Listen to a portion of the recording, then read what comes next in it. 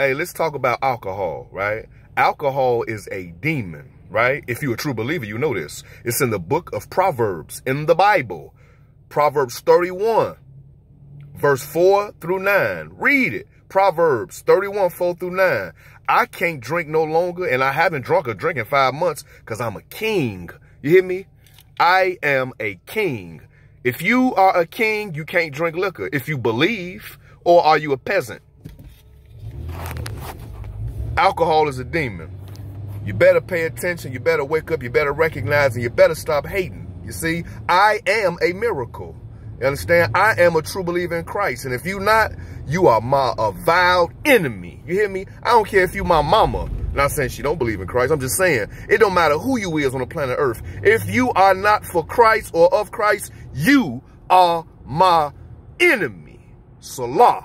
You want to fight? Let's do it.